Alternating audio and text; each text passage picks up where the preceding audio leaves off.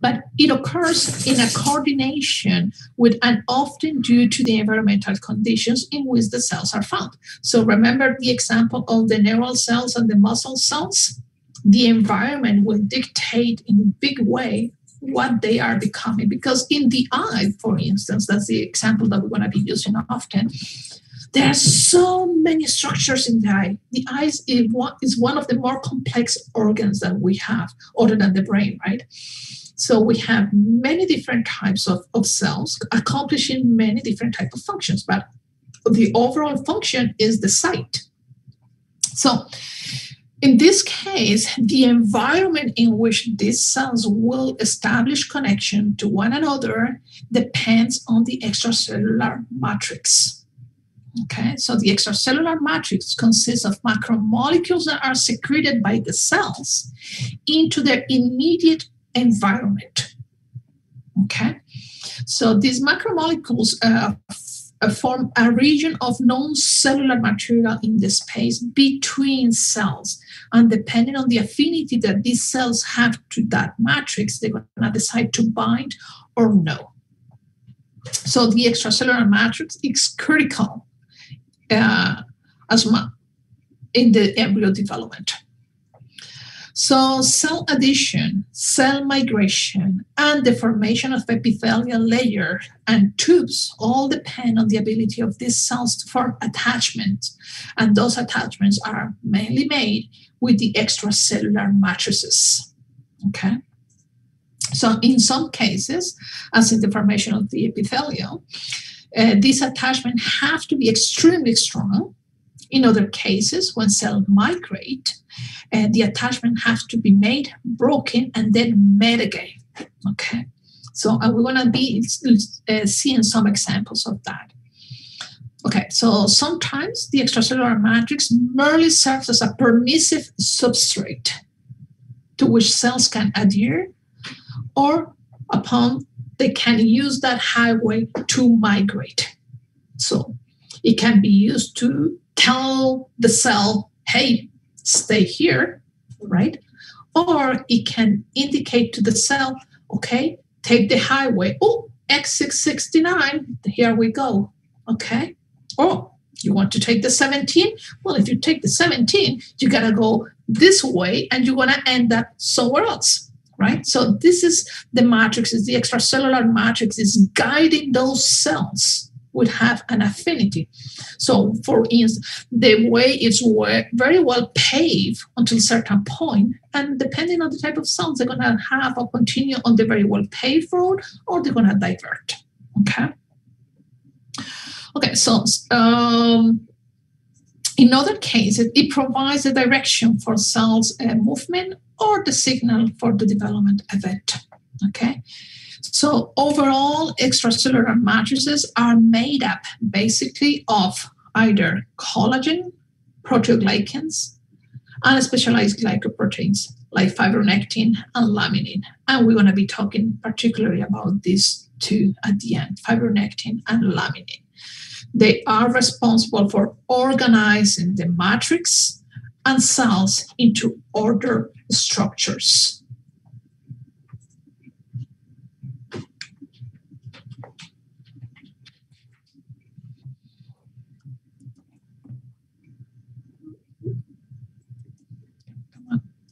There we go.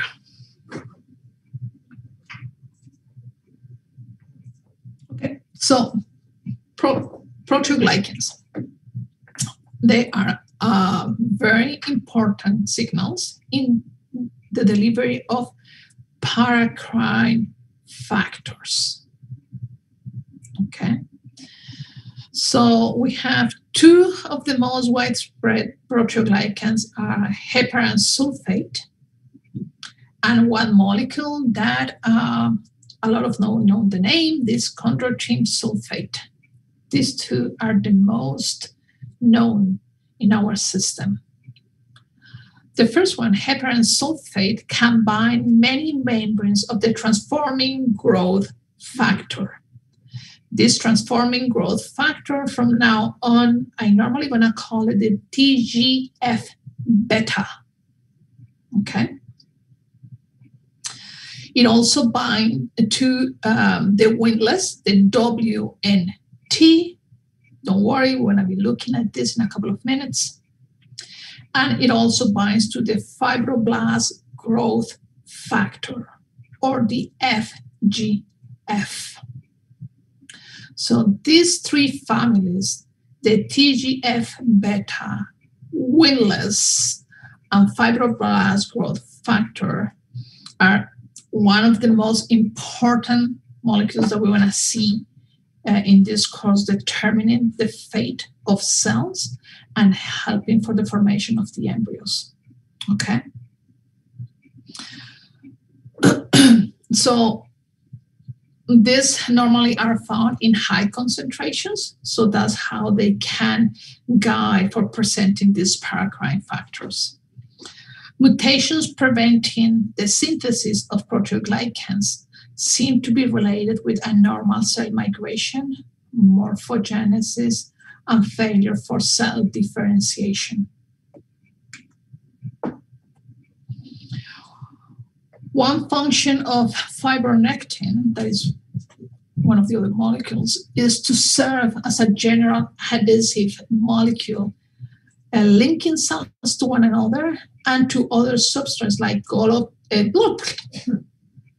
collagen, excuse me, and proteoglycans. So fibronectin has uh, several distinct uh, binding sites, and we want to see this through the course. And their interaction with the appropriate molecules result from uh, the proper alignment of cells with the extracellular matrix, and that's what we see in here. This line in green is the road paved by uh, fibronectin in this embryo in Xenopus. Mm. So these are being um, labeled with fluorescent uh, antibodies for fibronectin. And we see that during cell migration, here we are ha- we have a blastula. Okay, this is the blastocele, and this is the archenteron during the movement of epiboly that we described already. Okay, and we see that as the cells start migrating by epiboly, this is the yolk plug we see a path just there and nowhere else. Okay. So in this case, we know that fibronectin has an important role in cell migration because it's guiding the cells which way they need to migrate. It's like the roads that have been paved for those cells. Okay. So fibronectin path lead germ cells to the gonads, for instance the heart cells gonna line into the midline of the embryo to be able to join the right and left heart together.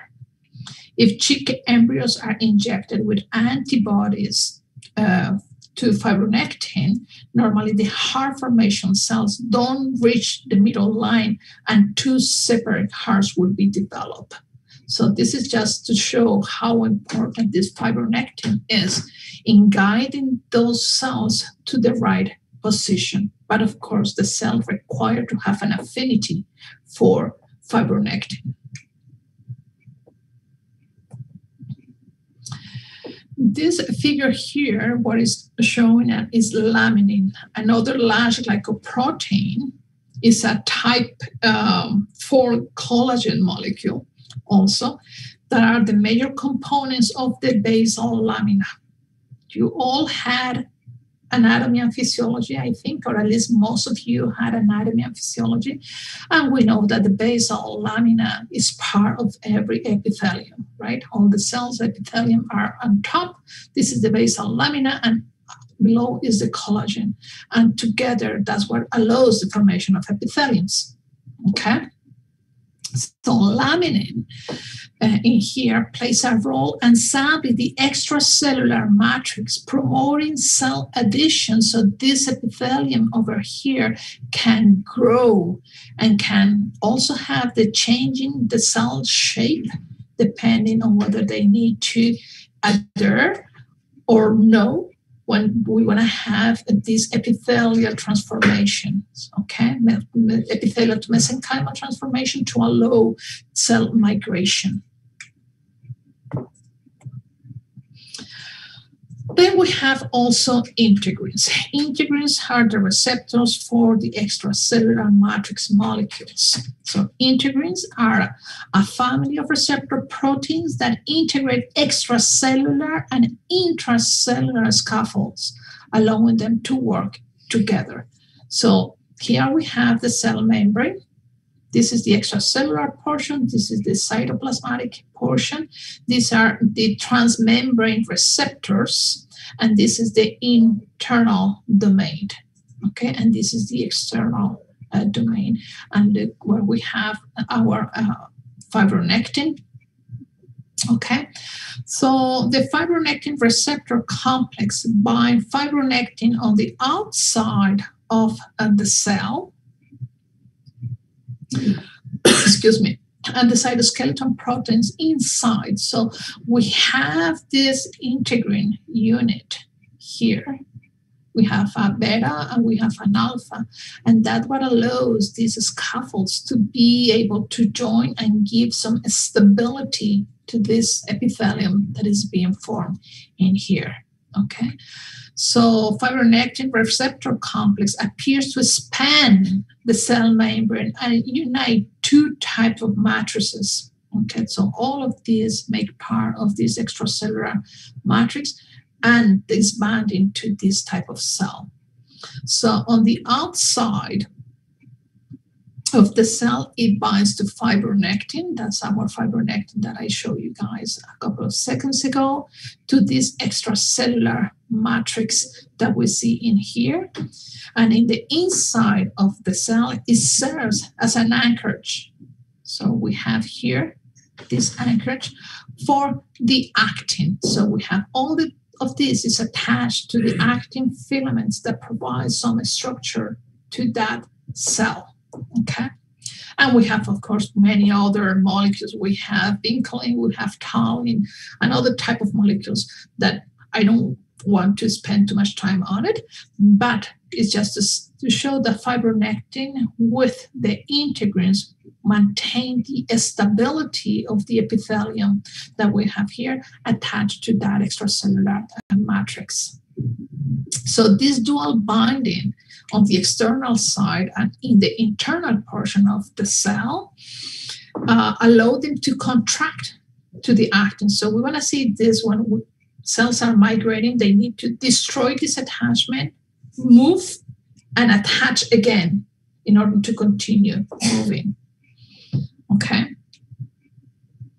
Um, the chondrocytes that produce cartilage, for instance, can survive and differentiate only if the if they are surrounded by that, uh, an extracellular matrix and are joined by another um, type of matrix that has integrins. If they don't have that, they won't be able to uh, change and form. So this is very important in development. So I, a couple of seconds ago, I mentioned these epithelial mesenchymal interactions, right? So some of the most well-studied cases of induction are those involving interaction of different type of layers of epithelial cells with neighboring mesenchymal cells. And that's what we call the epithelial mesenchymal interactions.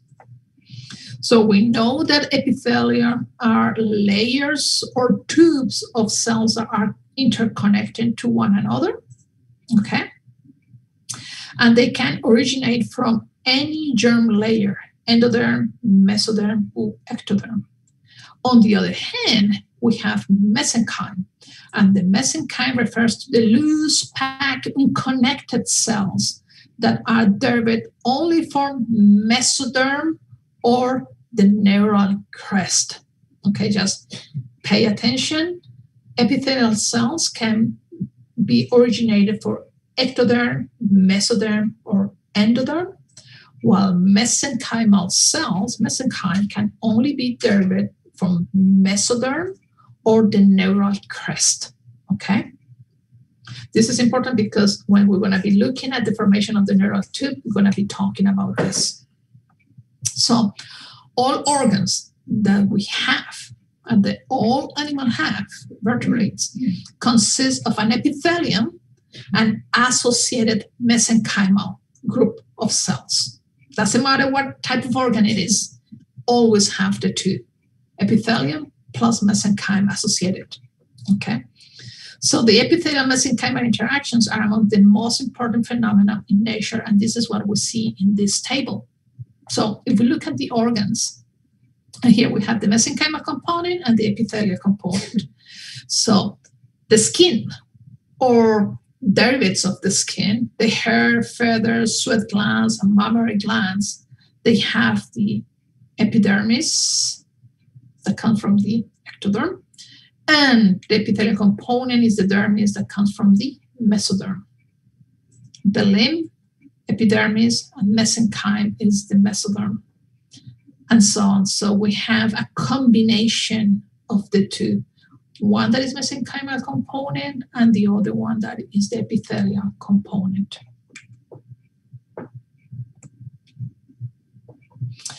Okay, so some properties of this epithelial mesenchymal interaction depends on two things. There are the ones that we have in this in, in the board. So we have the regional specificity of induction because we see that we have all these layers everywhere in our body. But how do they know that they need to form my nose and not my ears? Right? It's different. So, depending on the specific location, that's the region, they're going to form different tissues. And the second one is the genetic specificity of induction. So, we know that genes, we have the same, every cell that we have have the same genome, right? But the expression depends on where they are placed. So we will discuss this using an example of the induction of the cutaneous structures in this image. So the first one was the regional specificity of induction. And in this case, we are using the chick. This is um, an embryo that is 10 days old, and we are looking at the expression of a Sonic hedgehog. Okay. So um, the skin is composed of two main tissues, the outer epidermis and underlying dermis, right? So the chic epidermis signals the underlying dermal cells to form condensations, and those condensations are these little dots. Okay? So when we are cold, those little bumps that we see is like that. Okay? So we have these condensations. And at the condensated dermal mesenchyme responds by secreting factors that cause the epidermis to form regional specific cutaneous structures, like the feather tracts. Okay, and that's what we see more efficiently in this photograph. So these are the feather tracts on the dorsum of the chick. And in here, this is an in, uh, in situ hybridization of Sonic hedgehog. Sonic hedgehog is a paracrine factor. Okay, we're going to be talking a little bit more about this in a couple of minutes. So with here we see the expression, the dark dots, purple dots of Sonic hedgehog in the ectoderm of the developing feathers.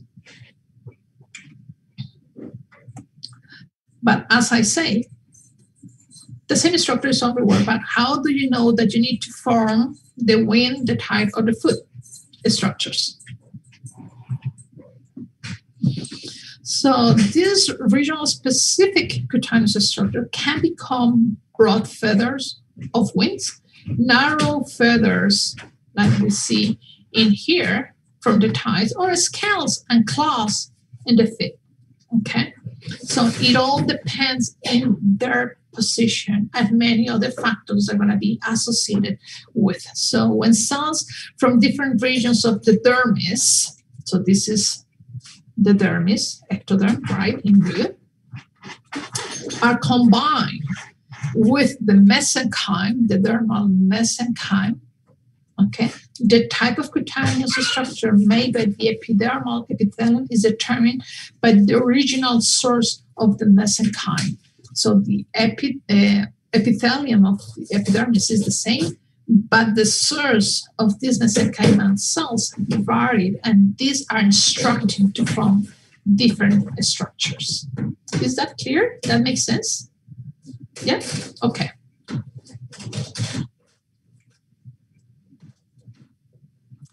The second uh, aspect important in this induction was the genetic specificity of induction. Okay. So even though the mesenchyme instructs the epithelium about which genes need to be activated for the formation of specific tissues, the responding epithelium can comply with the instructions only so far as its genome is permitting. Okay, it's allowing to happen. So this property was discovered uh, through transplantation experiments, uh, and for this we use then two individuals. We use a frog, so we have here the frog gastrula, and we have a newt gastrula. Okay, so flank ectoderm from the early gastrula of the frog. So this is what we should be the flank. Okay. So this is the presumptive zone, right? Uh, was transplanted into what is supposed to be the oral portion in the newt. Okay. So this is the oral of the newt. And we did uh, the opposite too. We took the newt and we transplant that into the oral of the frog. Okay, a complete transplantation. Remember, transplantations between among two individuals. Okay, no individuals from the same, not from the same individual. So what we see at the end, the result that they obtain is that the structures of the mouth region differ greatly between the salamander and the frog larvae. Okay, so the salamander has a club shaped balancers beneath the mouth. Okay, and this is when we transplant this one into here. They just create what they were supposed to do, right? Even though this is the frog gastrula, uh, the frog embryo. And then uh, the salamander larvae had frog-like mouth bars, like the, most of the tadpoles. That is not like the suckers that they have in here. Okay. So the mesodermal cells instructed the ectoderm to make a mouth. In both cases, that's exactly what they did. They, create, they recreated the mouth part of the individual. Okay. But the ectoderm responded by making the only kind of mouth that it knew, I put new and quotation marks, right? Uh, how to make. So even though this part of the needle should create um, the balancers once they was inserted into the frog. Well, that's exactly what they did because that's the genome that they have. They have the genome of the salamander. So even the environment was not able to change what type of epithelium they should recreate.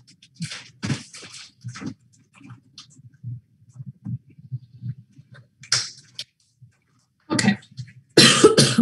So the epithelial mesenchymal transition, or EMT, plays a really important role in the transformation of the body plan and the differentiation of multiple tissues and organs in most vertebrates.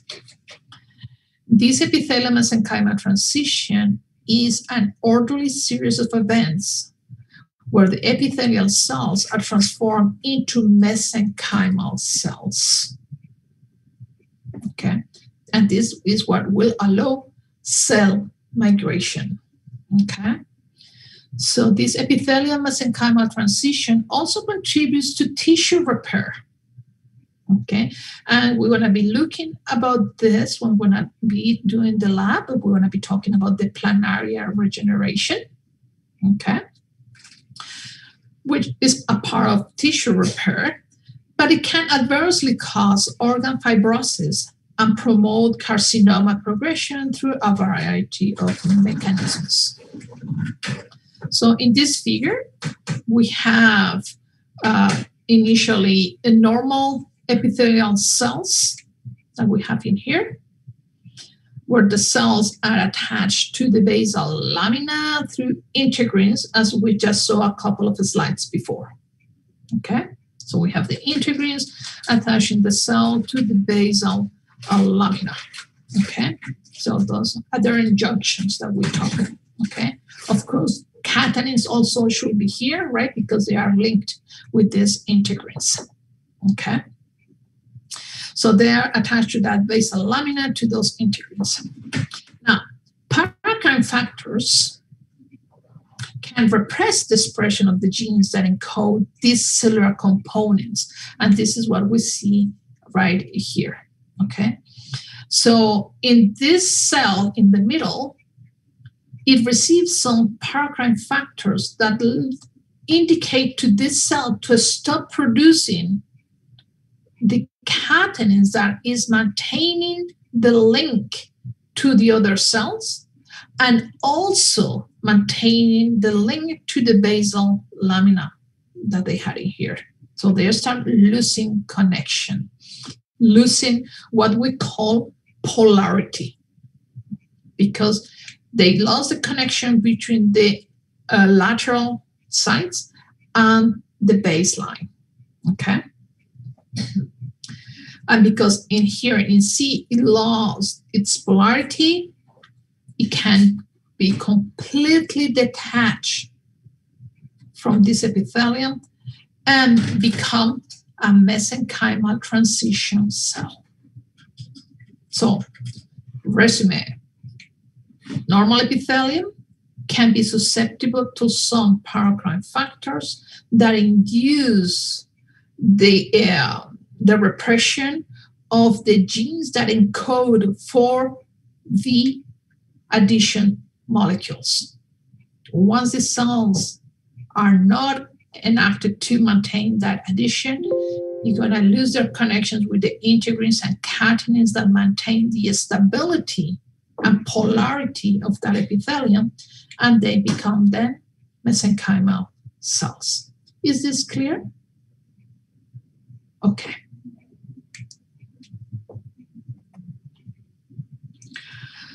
Okay, so now that we know that cells can attach to one another depending on their affinity, and uh, that some of the pathways that these cells are going to follow for the formation of tissues depends on the extracellular matrix, fibronectin, laminin, some proteoglycans. Now we need to get into how these cells really going to form specific tissues. That is the main focus of this course. Okay, so organs, we know there are complex structures composed of numerous tissue types. For example, the functioning of the vertebrate eye requires the precise arrangement of tissue, corneal, lens, muscle, nerves, and all of these are in just one organ. But the same type of things you want to find in other uh, organs. So such coordination in the construction of organ is accomplished by one group of cells changing the behavior of an adjacent group of cells, thereby causing them to change their shape, the mitotic rate, and their fate. So this kind of interactions are normally occurs at close range between two or more cells of tissue of different histories and also sometimes different properties and is what we call induction. Okay? So there are at least two components to every inductive interaction. The first one is the inducer. The inducer is the tissue that produces a signal that changes the cellular behavior of other tissues. The responder is the tissue being induced. Now, we can see that not all the tissues can induce a change in other tissues, right? So you gotta be receptive to the signal. Otherwise, you don't need to change or you can uh, obey what the other tissue is telling you.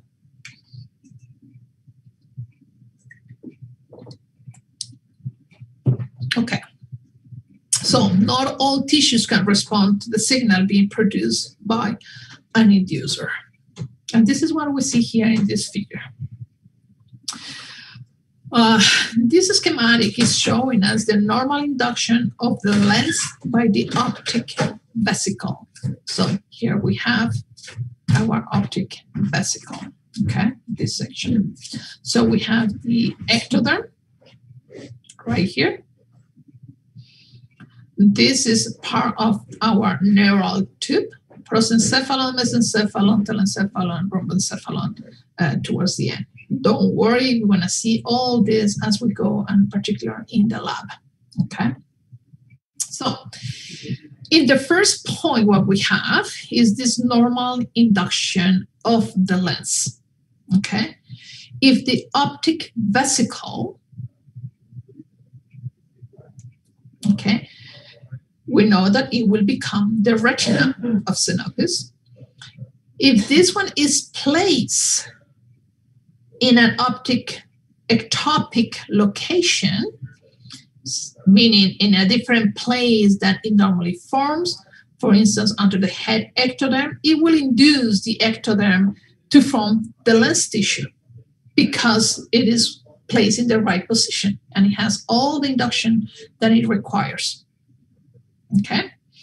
Now, in two, here we have that if the optic vesicle okay, is placed under the ectoderm, but in a different region. And in this section is becoming more or less the abdomen or the trunk, okay?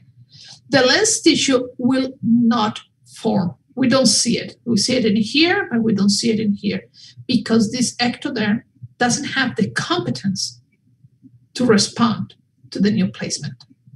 Okay? Now, this ability to respond to specific inductive signal is what we call competence. That's what I say. This section here doesn't have the competence. Even though the right inducer is there, this tissue here is like it's like talking in romance, I don't know, between a Chinese and, and, and a Colombian like me. You know how much I can understand of what the Chinese love word is telling me? Not at all, because I really don't understand Chinese. Okay? We can maybe understand some facial expressions, but if it's just the language, that's what happened here. The ectoderm say, oh, I don't know what you're saying. I, yeah, whatever. Okay. In three, we have here is the optic vesicle is removed, so we don't have it. And the ectoderm is unable to create the right structure because the inducer is not there, right? So it's an empty vessel. There is nothing in there. And that is what is the negative control in this experiment. Okay, so no induction because the inducer is not present. In four, what we have is we place another tissue that doesn't have the factors for the ectoderm to induce the formation of the lens this is also a negative control because despite of the fact that we're still using the ectoderm of the head in more or less in the right position, this tissue here is unable to induce this ectoderm to form the lens. Okay, so this is basically to talk about the inducer and the competence of the tissue being induced to respond to the signal. Okay. So competence, that ability to respond to specific inductive signal is a key role in development because that is exactly what is telling a group of cells what they should be forming.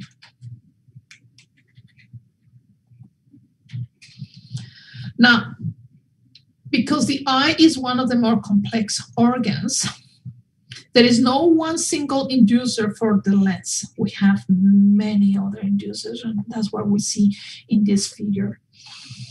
Is the lens induction in amphibians, and we have an additive effect. We have different concentrations at different stages during development, and that is what we see here in the A figure. So we have the relative capacity to be induced for the formation of the lens, okay? And in here we have the time lapse from fertilization, cleavage, blastula, gastrula, neurula, and the other stages until we get to the adult, okay? And we see here that we have different inducers. One initially is the endoderm, then is the cardiac mesoderm, and finally, at the very end, we have the optic vesicle retina doing most of it. Okay? So the ability to produce the lens tissue is first induced by the pharyngeal endoderm. So here we have our mid gastrula. So we are right here, right where that endoderm starts being active. Okay. So this is the mid gastrula, this is the endoderm, this is the ectoderm, and here we have the dorsal mesoderm. Okay. And this section is when we start seeing the transformation of the gastrula. All those movements, all those five movements that I told you guys to keep in mind, this is when it's happening. Okay. So we have that, we have the pharyngeal endoderm that is first the inducer. Then when the cardiac mesoderm develops further, you see here we start pushing to the sides, and here we are in late gastrula. Don't worry, we're going to come back to this uh, later on. So we have the expression of the OTX 2. This is the gene expression of the OTX 2 that now it gain competence to induce. Okay? So that's why the cardiac mesoderm now become more competent to create this. So uh, OTX2 and PAX6, another transcription factor, are here to induce the formation of the lens right at this level. Okay. And then at the stage of the late gastrula, this is the OTX2 and see how it increases concentration and it becomes a little bit more until the head ectoderm now become more of the inducive signal. So the anterior neural plate may produce the next set of signal, including the signal that uh, promotes the synthesis of this PAX-6 here. That is a transcription factor in the anterior ectoderm, as we see in the figure. And then together, PAX6 and whatever it rests of uh, OTX2 provide the competence for the ectoderm to respond uh, to the inducers of the optical cup. So here we have the optic, and now finally we have these other set of factors, okay? And these are uh, morphogenic factors, okay? So we have the BMP is the bone morphogenic factor, and is the BMP4, okay? And the FGF, remember fibro, uh, fibroblast growth factor at number eight and these two interact. So now we can form the lens. Okay, so it's a cascade. Some initiate the process, and then we have an additive as the embryo continues developing. So here we see where gene expression is really important for the formation of different tissues, and it's in a time fashion. So if these OTX were expressed early, we won't be able to have the formation of the lens. So timing is of an essence in development. Okay, so many inductions are reciprocal in nature. Once the lens has formed, it can induce other tissues.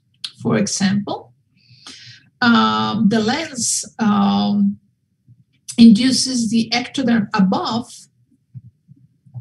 where it is to become the cornea. Another responding tissue is the optic vesicle itself. The inducer become induced, and under the influence of factors secreted by the lens, the optic vesicle becomes the optic cup, and then the wall of the optic cup differentiates into two layers to become the pigmented retina and the neural retina. So it is so cool how we start with just the formation of the lens. And from the lens, we are able to induce the formation of the cornea. And then what it was in the inducer becomes the tissue induced to become the pigmented and the neural retina. So because of these interactions, that inducer becomes the induced tissue. We call this reciprocal inductions. Is that clear? Yeah, okay.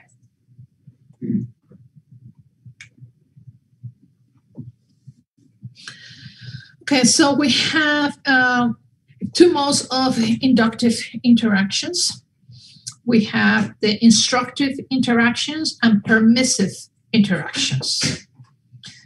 The instructive interactions, normally we have a signal from the inducing cells that is necessary for initiating a new gene expression in the responding cell. It means that without the inducing cell, the responding cell is not capable of differentiating in a particular way. We have three uh, general principles that are characteristic of most instructive interactions that are in the bar and is in presence of tissue A, responding tissue B develops in a certain way.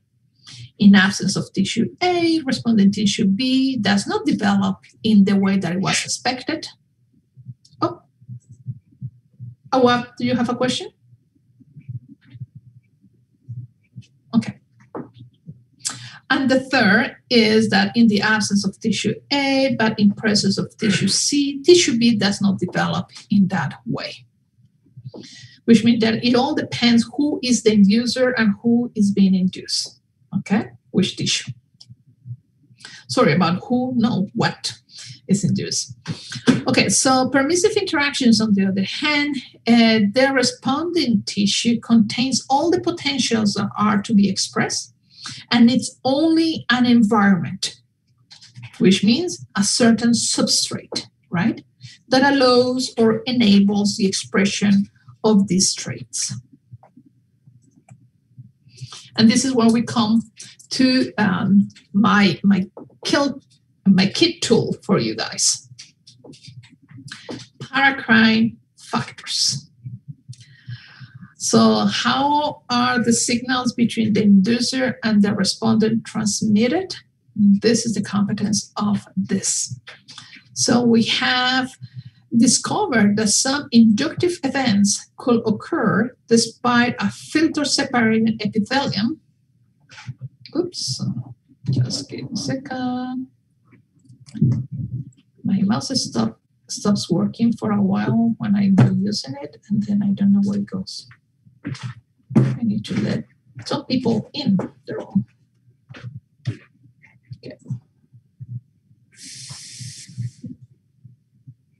Okay. Okay. So where was I? Uh, yeah.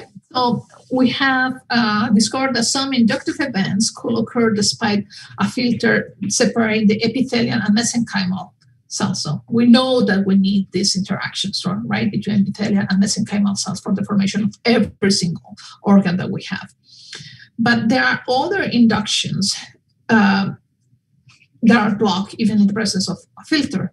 So the researchers concluded that some inductive molecules were soluble factors that could pass through small pores of the filter and that there are other inductive molecules require direct physical contact between epithelial and mesenchymal cells. Just give me a sec. I need to be able to see the few that have the camera on so I can see whether you are understanding.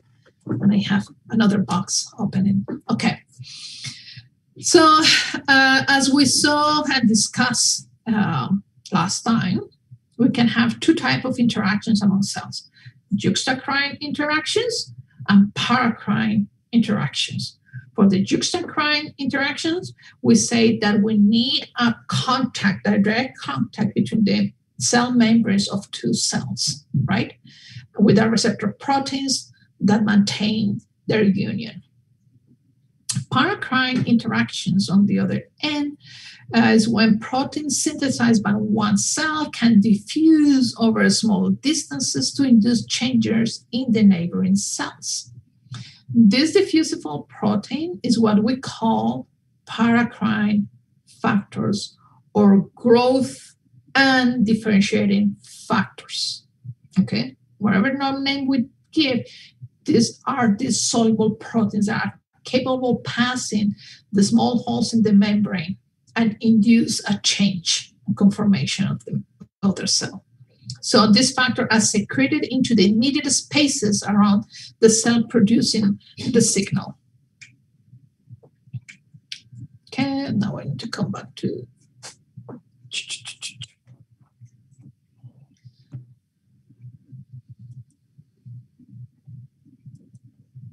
Okay. And this is what is very exciting about developmental physiology morphogen gradients. And you're going to read this uh, in the planaria papers that are uploaded on um, Perusall. Okay. So, as we have discussed prior, one of the most important mechanisms of governing cell fate specification involves gradients of paracrine factors.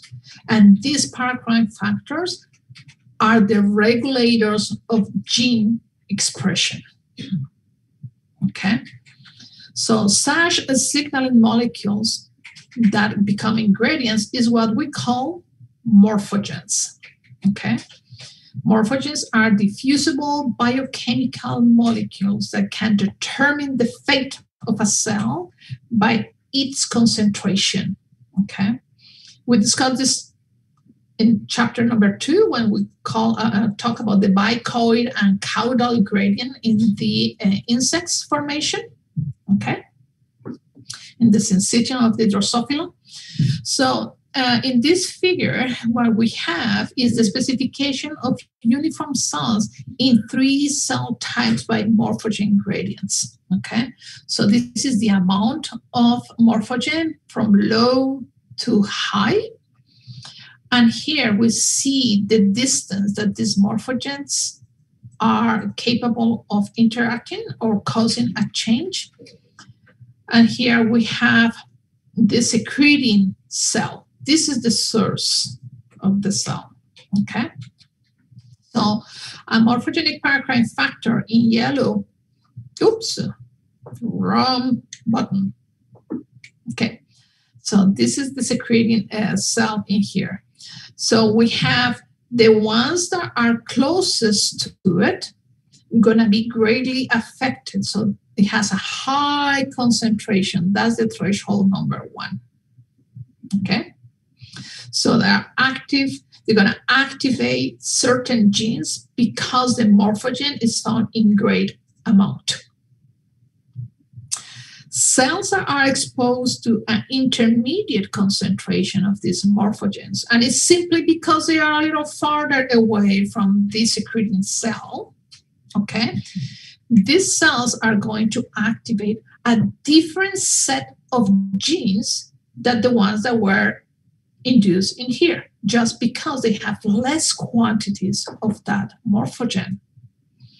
Now, cells that are exposed to lesser concentration of this morphogen just because they are farther away, they're going to activate a set, a third set of genes that are here labeled in blue. So this illustrates the fact that when the concentration of a specific morphogen falls below a critical threshold, a different fate of the cells will be specified. That makes sense? Okay.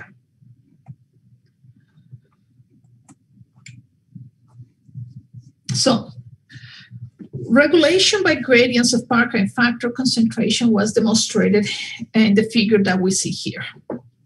So the specification of different mesodermal uh, cell types in Xenopus, this is always Xenopus is one of the best models to, to work in uh, for developmental biology. Um, so different uh, mesodermal cell types um, were activated by a paracrine factor of the TGF beta family. that we will see uh, in a couple of slides. Okay. So when beads, these are the beads in gray. So when beads uh, secreting, activin uh, were placed on unspecified cells from the early embryo. So this is unspecified cells. We put just beads with no activin uh, in there. What happened in here uh, is an early embryo. So remember, an early embryo can have different type of uh, compensation, right? Uh, it induces expression of different structures of the frog. However, the effect varies depending on the concentration of the activin. In here, in B, and what we have is beads that contain one nanomolar of activin, and this elicit the expression of XBRA. Okay, uh, in the nearby cells. So these are here, and the cells that are closest to the beads are the ones that have changed, right? That's why we have this uh, little pinky color in there. And they become muscle. Okay? So lower concentrations, because these are farther away, have failed to activate genes, and cells were instructed to create blood vessels and heart. So we have a different type of, of things. So the activin change because they were, they were farther away from where they should. Now in C, we have beads with a higher level of activin. Now is four times higher, is for nano. Uh, just give me a second. Then, Sorry, one of us need to go and pick up my son and I'm lecturing, so it's the other half that needs to do that. Um, so in this case, these beads contain four uh, nanomolar of activin. And this elicits the expression once again of XBRA closest to uh, the cells, but also elicits the expression of cells to become muscles. Okay, and uh, in a little farther away, we have the expression of goosecoid. So this is another expression here of the goosecoid. It's a little farther away, right, in this section. And it produces a transcription factor that will create the, the dorsal part of the embryo. Okay, so now now that we know which paracrines and morphogens are, now we can focus a little bit more on our paracrine factors. And as I say, I am not pretending you learned this by heart. And now we want to see this again and again and again until the end of the course. Okay, so don't worry too much about it. So we have four families of paracrine factors that we're going to repeat from now on. And it's the fibroblast growth factor, FGF, the hedgehog family, where we find three different types in the vertebrates. We have the desert hedgehog protein, we have the Indian hedgehog protein, and we have our famous Sonic hedgehog protein. And yes, it's after the Sega of the Genesis, the cartoon character, okay? Just because of the, the shape and all that. The third group of uh, family is the wingless, WNT, Okay. And then we have the transforming growth factor beta superfamily. But before we go through each of these, we should discuss first what is the general pattern of signal transduction pathways. And I'm pretty sure you saw that in um, cell bio. I hope, I think, I'm almost sure. So all major signal transduction pathways appear to be variation of a common theme that is the one that we have here in the screen. Okay.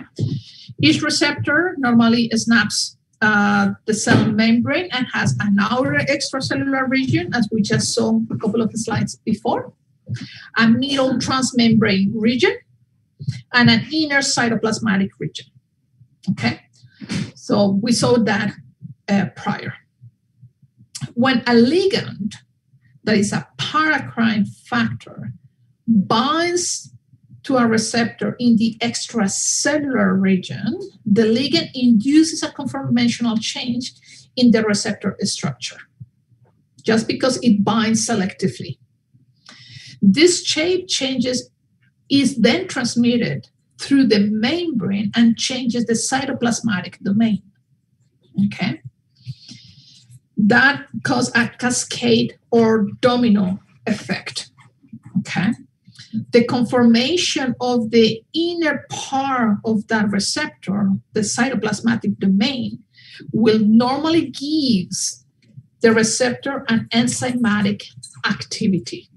Okay, usually it's a kinase activity, and that can cause um, uh, the use of ATP to phosphorylate proteins to include the receptor and molecules itself.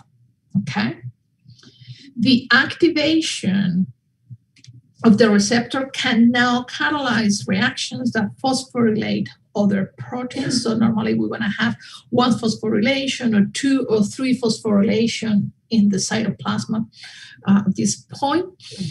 And eventually that cascade of phosphorylation will activate some dormant transcription factors, okay, which then will activate or repress a particular set of genes.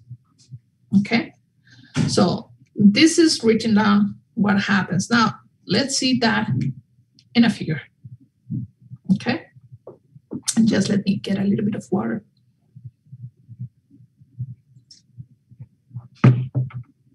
So, as we see in this figure, each receptor have three parts. The extracellular domain, the transmembrane domain, and the inner domain. Okay, that's how we start before. We have a specific site that is the binding domain here, and this is the ligand or paracrine factor that's going to bind specifically to that extracellular domain. Okay. In this pathway, we only see one phosphorylation cascade, right? And this is only in response to the paracrine factor that binds specifically to this receptor and have an endpoint that is called the signal transduction, transduction cascade. So we have the phosphorylation here, ATP to ADP.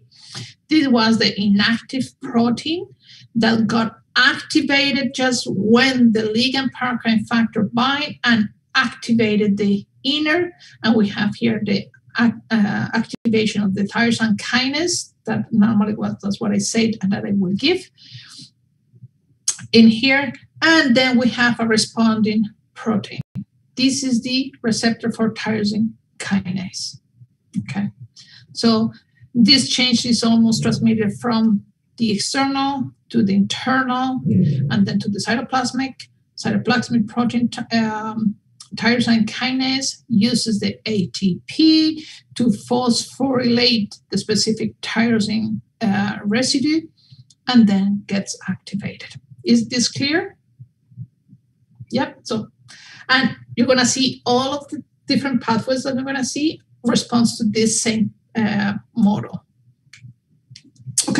So now that we know what is the general signal transition pathway, we can go uh, over the paracrine factor families and see how they work. So the first one we mentioned was the fibroblast growth factor. A family of paracrine factor comprises near two dozen structurally related uh, members. Okay. In this figure, we observe that uh, one member of this family is the FGF8. We br- uh, uh, briefly mentioned it a couple of seconds ago for the eye. Okay, it's a very important um, paracrine factor that allows uh, for the formation of the limb and the lens induction. That's where we mention it in the lens. Okay, and we see here is expressed here in the head region where the eye is going to be formed, and massively in these sections where the limbs will form. So this is here, this is the tail, but in there. Okay. So this uh, these dark areas in the distal uh, part of the limb. Okay, Chico. Uh, we know that that expression is in there. It's important. This is part of the lens as we see in here. So when FGFs bind and FGF, uh, the dormant kinase is activated and the phosphorylate certain protein. So that's what we're going to see now in this uh, cascade. Remember, I will never ask you to, to say this, and luckily we don't have any exams, so don't worry about uh, this type of uh, pathways. And I never asked these pathways in, in class either, so no worries here. So some paracrine factors, uh, ligand that bind to the receptor of tyrosine kinase induce fibroblast growth factors, epidermal growth factor, platelet derived growth factors, and stem cell factors. The signal transduction, normally we have it resume here in this little box, okay? So we have first the binding a specific paracrine factor for the RTK receptor. Here we have a dimerization, okay, of the receptor that causes an autophosphorylation of the receptor. So this is what we see in here, an autophosphorylation of this receptor right there. The adapter protein recognizes this phosphorylated uh, kinase, tyrosine, excuse me, and activates an intermediate protein that is the GAP. The GAP is the guanine nucleotide exchange protein. They're going to be activated right here. And then we have another cascade of things that are going in here where the GEF activates the RAS G protein, and this RAS G protein allow the phosphorylation of the GDP, and so on. Blah blah blah is all in the book. Okay. And finally, we have a final product, the. The MEK is for the mitogen activate protein kinase. This molecule here is capable of entering through the pores of the nucleus of the cell and activate the ERK, that is the extracellular regulate kinase. And as we see in here, this one will activate the transcription factor, the expression, and we're going to have an end product. Okay, so the R, uh, the RTK pathway is critical in several developmental processes. In the migration of the neural crest cells, for instance, for humans and mice, the pathway is also important for the activation of the transcription factor to produce pigmentation of the cells of the skin and the retina. So whatever happens to this pathway that allow the transcription can affect any of those aspects. Pigmentation, and I showed you uh, yesterday one of the piebaldism uh, condition where we have a, a, a, lack of pigmentation in the middle part of the front and the chest in the midline, okay? A JAK-STAT pathway, um, which is the casein gene, is activated the, during the last phase of mammary gland development. And its signal is the secretion of the hormone prolactin from the anterior pituitary gland, so during uh, breastfeeding. So prolactin causes the dimerization of prolactin receptors in the mammary duct epithelial cells. So yeah, we have exactly the same uh, pathway. And then the JAK, um, the JAK2 protein are hitched to the cytoplasmic domain, and when the activation of the uh, tyrosine residue and STAT. So we have that pathway to, oops, excuse me. This uh, JAK-STAT pathway is extremely important for the differentiation of blood cells and the activation of casein, as I mentioned prior.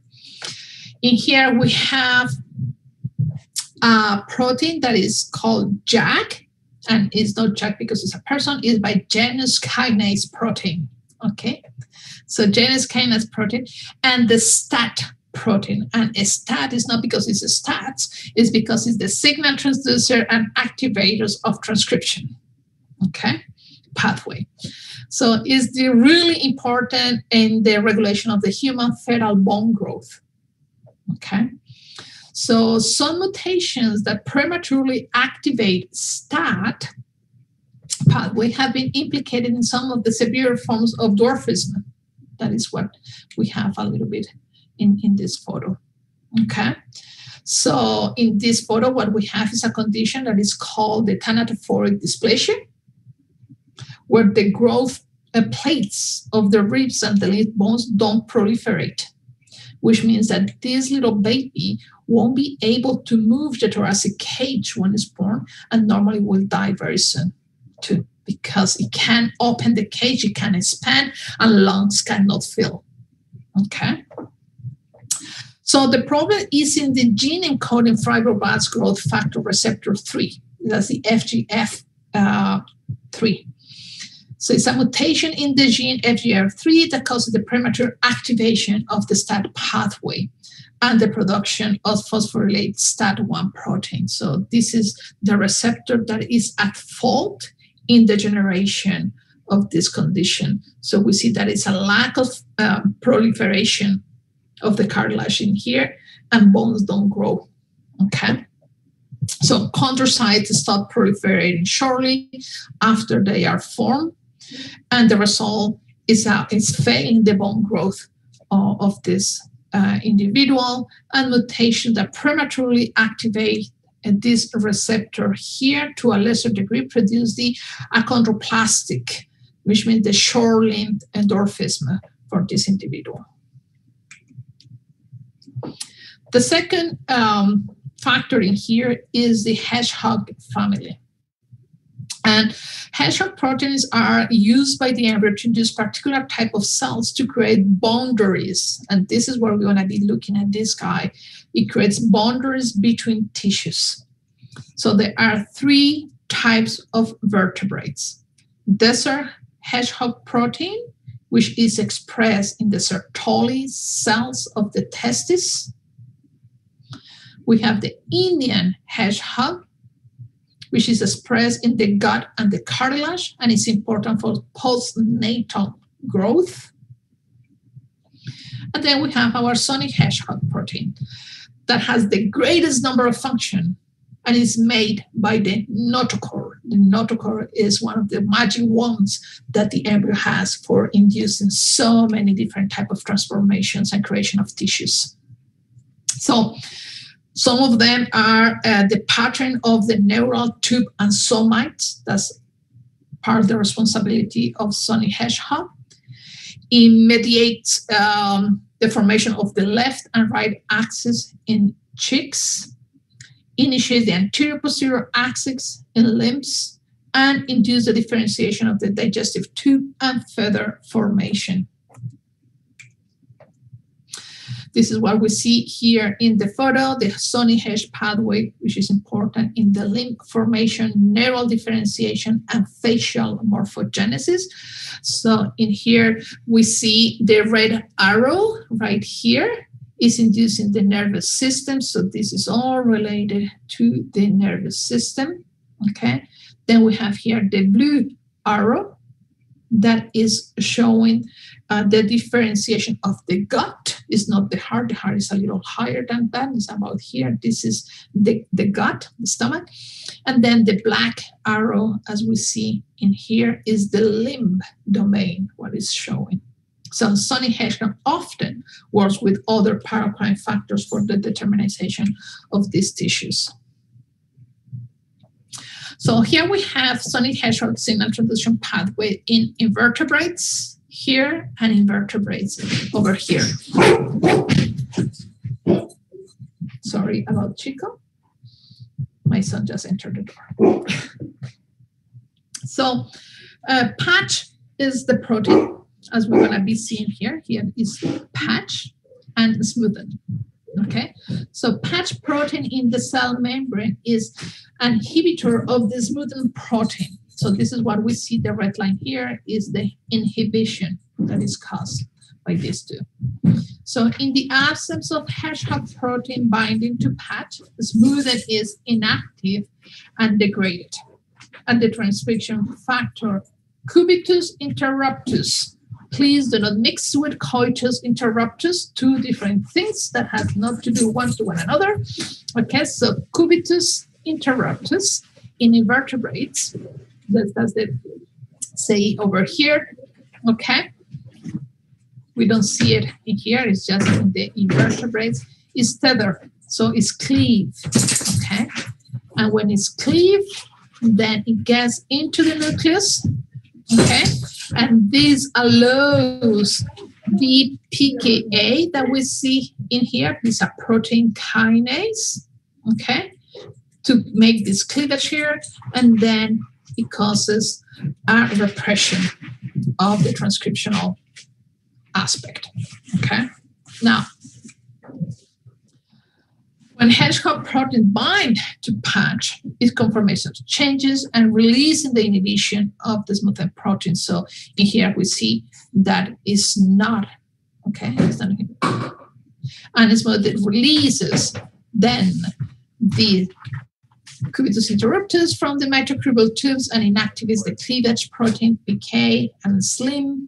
Okay, so we see a whole here. SLIM is not uh, cleaved in here, and heteropathway is extremely important in vertebrate limb formation and neural differentiation, as we saw in the other pathway. Mutations that inactivate the pathway cause malformations. Mutations that active the pathway ectopically in the wrong place can cause cancer, for instance. Okay. Cholesterol is important for uh, the hedgehog pathway, even though cholesterol normally we consider as a bad molecule. We need all to avoid cholesterol, right? Well, cholesterol is important for the formation uh, in the membranes. It's what allows the permeability of the mem- cell membranes. Too much cholesterol is not good. The membranes become very rigid. Not too much cholesterol then becomes too permeable, right? But for development, having cholesterol is really good because it allows uh, a hedgehog pathway to, to go along.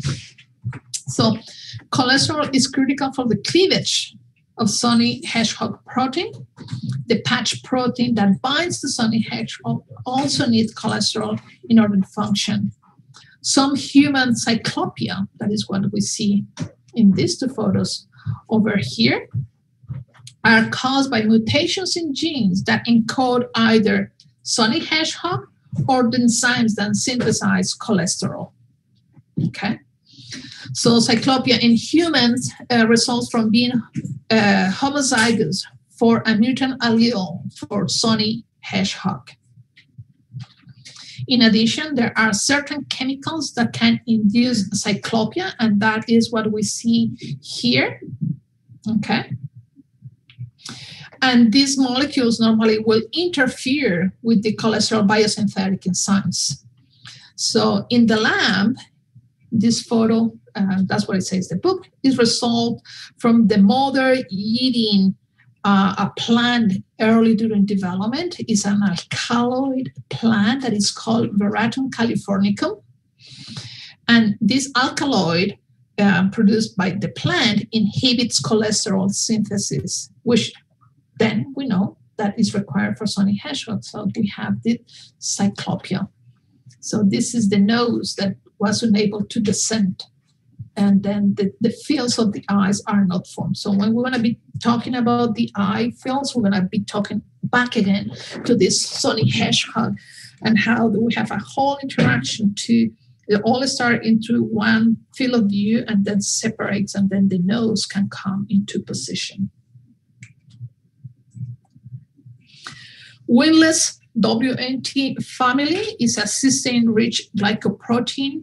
It's active in inducing the dorsal cells of somites to become muscle, and is involved in the specification of the midbrain cells.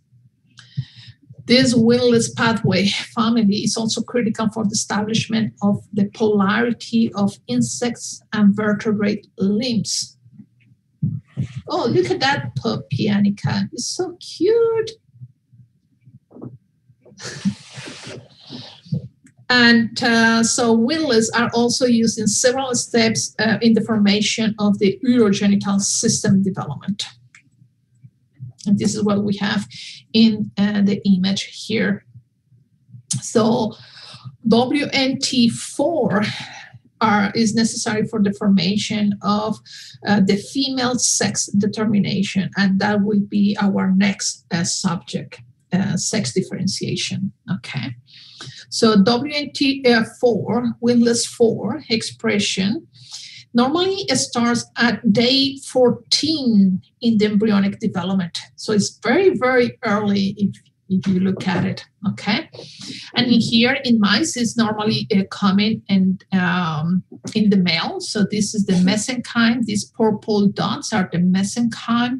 This is the kidney rudiment, and this is the testis rudiment, okay? So if we have the expression of WNT, we see completely organ development and separation. This is the kidney, this is the adrenal glands, and these are the gonads. In C here, we have a mutant for WNT4. This is a knockout that it, it was made for this gene. And then we have the kidneys fail to form. We have the gonad, and here we have some sort of rudiment of kidney, but it completely fails to form, which indicates that wingless 4 is absolutely required for the formation of the kidneys. So how this signaling pathway works. So this um, WT family interact with a pair of transmembrane receptor that are two. So we have frizzle here in purple, and we have then this one that is the LRP5, okay? Which is a circle here. So the WNT pathway is different from the other three we mentioned so far because this one involves an inhibitor. The other one, we didn't have any inhibitor during the pathway. And here we have an inhibitor. Uh, and we have an activation of the inhibitor. So in this first image, what we have is in the absence of WNT, the transcriptional factor B catenin, which have right here, okay, is constantly degraded by the protein degradation complex containing several. So we have AXIN, we have the GSK, we have the APC. This is the complex, okay? And beta catenin is degraded all the way through by this complex over here, okay? And we also have the glycogen kinase that does the GSK that is helping with this inhibition. So this glycogen um, synthase kinase 3 uh, phosphorylates beta catenin, which is the red one over here, so that it will be recognized and degraded by the proteasomes. Okay.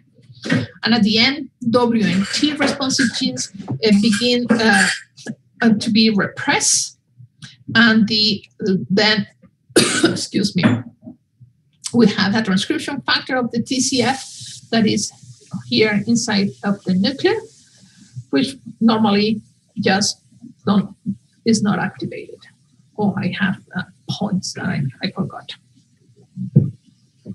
Okay, so what happens now when we have WNT? So the WNT binds to a frizzle. So we have the frizzle, we have the shovel.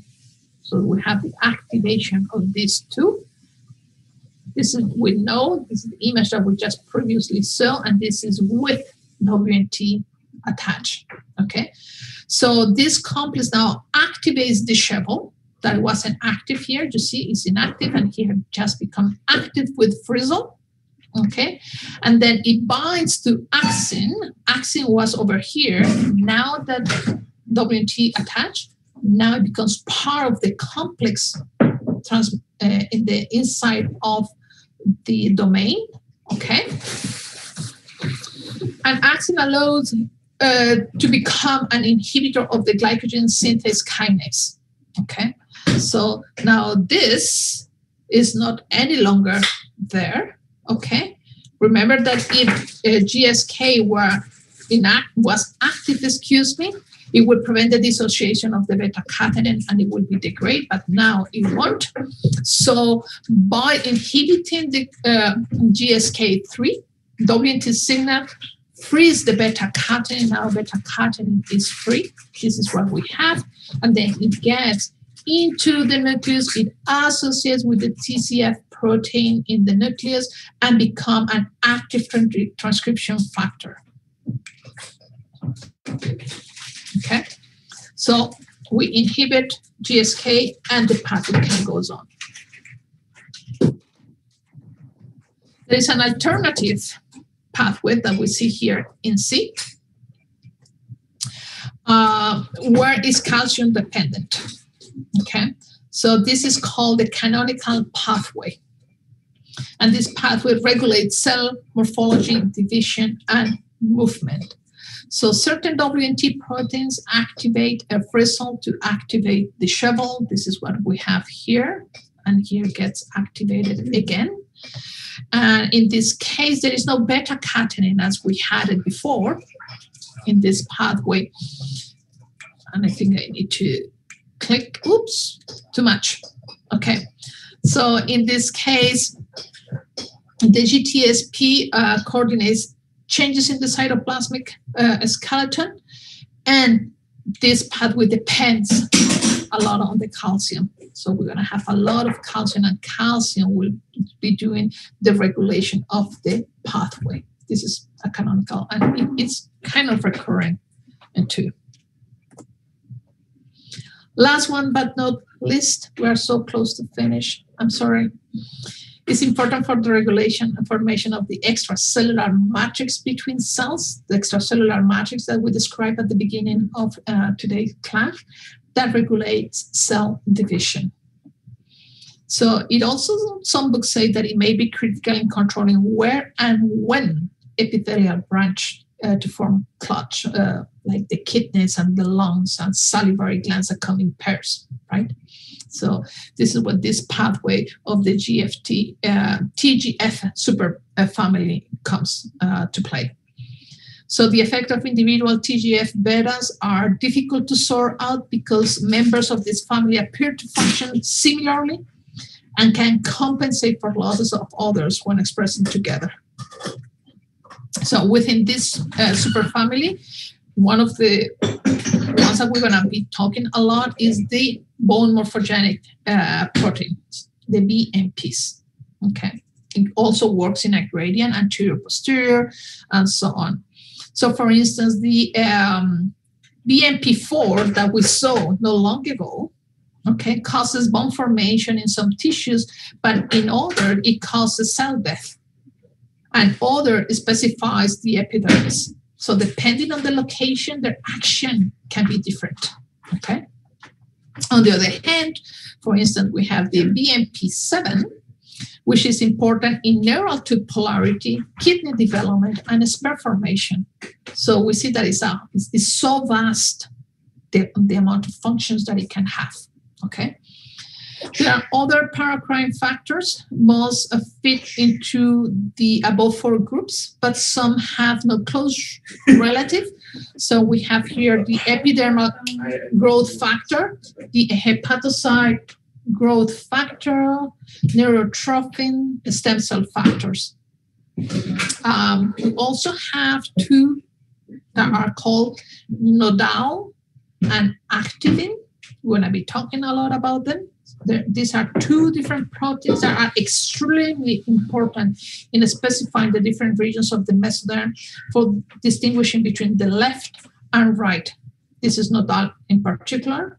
It will be important to determine which side is the left and which side is the right side of the embryo. Okay? But we're going to be talking about that uh, later.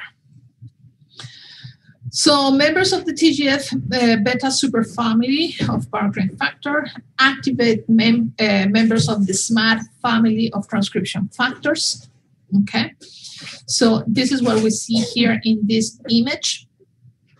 So we have uh, the TGF beta ligand bind to uh, the type 2. We have type 1 and type 2 receptor across the membrane. Okay, this is the GS box, and this is the serine threonine uh, kinase domain. Okay, oops, excuse me, I want to point and I just clicked the wrong button. Okay, so we have if it binds to receptor 2, which once it's activated binds to receptor 1.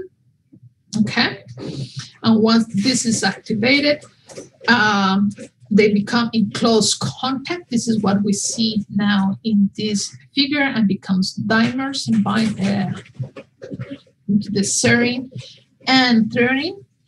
And we have a phosphorylation occurring in this section. And then we have the SMAD that gets activated, and then the SMAD gets into the uh, nucleus. And then this is what we can have. We have two different things going on.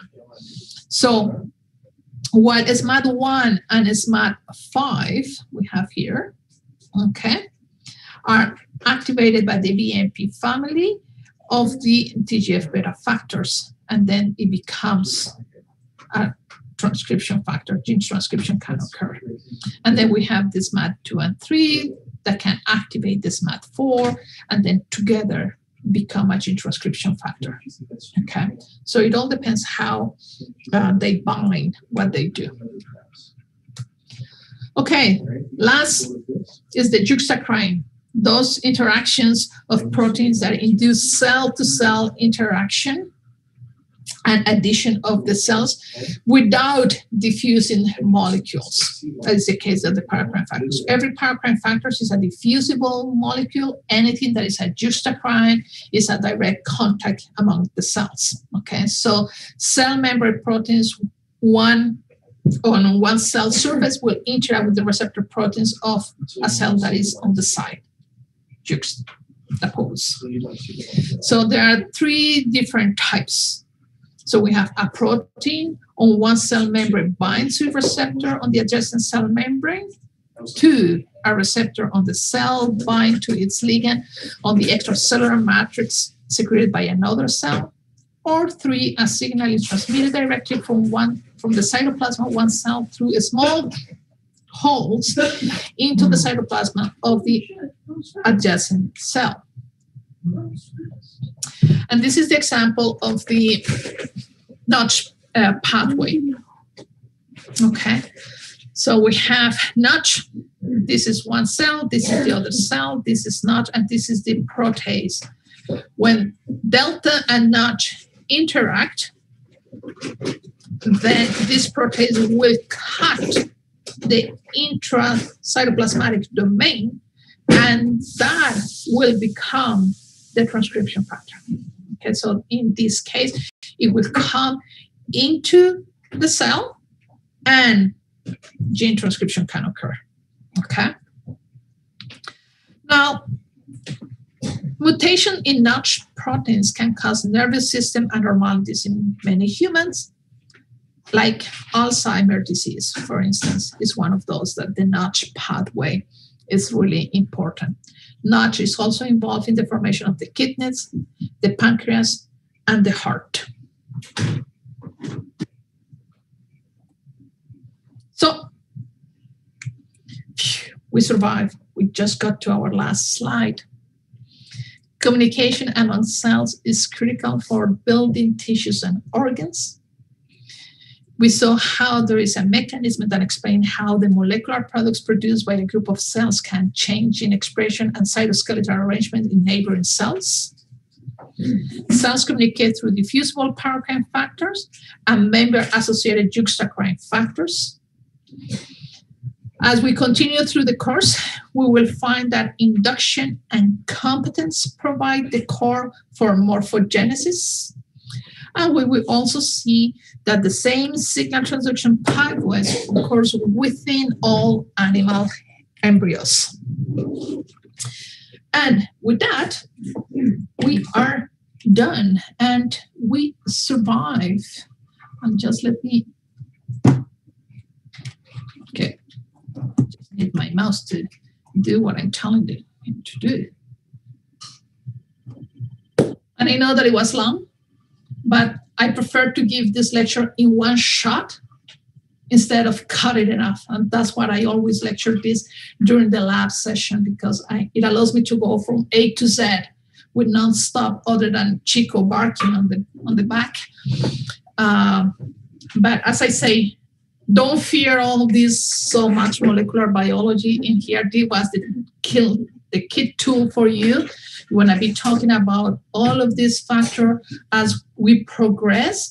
So we're going to have sufficient time to assimilate slowly what each of them will do and how malleable these molecules can be or how these transcription factors can interact and in here they form this but when they interact with something else they can form a different tissue okay so you want to see that it, it will become easier as we go i know that the two hours here is like oh my god i have a headache go and grab a beer or a wine and then don't think about it okay just relax Unfortunately, I can't do that. I have a meeting with my master student next in five minutes. So, but I will be drinking some beer after this. Uh, okay, so you have now your toolkit with the information. At least these names will become more familiar with as we progress through the course. And you're going to be able to see, oh, that's what she said about conditional. This is when she talked about that. Okay, so it, it will baby steps as we go. Okay. For now, we're gonna leave it there. I'm gonna heat up my coffee so I can it up my next meeting. And I wish you a very productive and perhaps relaxed weekend. Okay. With the temperature today, it's like two outside. My goodness. This is I have never seen this weather at this time of the year here in Canada. So see you guys. Try to resource yourself a little bit, keep safe, especially, and see you on Monday. Oh, at the end, I want to be uh, sending the uh, the topics at one point today or tomorrow. It all depends how tired I am at the at the end of my next meeting. Okay. Okay, guys. Have a good one. Thank you. Okay. Bye-bye. You too. Thank you. Have a great weekend. You too.